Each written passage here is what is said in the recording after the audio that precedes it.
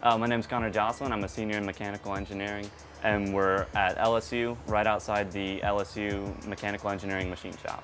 We're building a pod for a Hyperloop system. Hyperloop, it's a new form of transportation. It will one day be faster than any sort of transportation we have today. It uses pre-existing maglev technology and puts that inside a vacuum tube.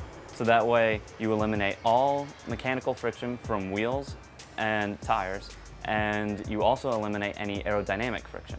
So that way you can exceed speeds of 5 and 600 miles an hour. We're building a pod for a Hyperloop system.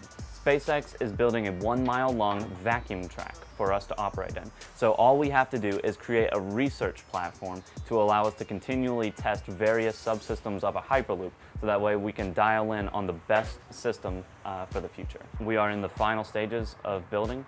All we have to do is level all the hover engines to make sure that they're all at the same height and make sure we have stable flight.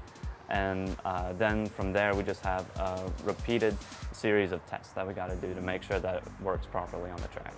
If you were to apply this Hyperloop to a local scenario, say New Orleans to Baton Rouge, which are about 80 miles apart, if you were able to get a relatively straight shot between the two, it can have small radiuses of curvature, then you'd be able to accelerate up to over 500 miles per hour and bridge the gap between the two in about 10 minutes.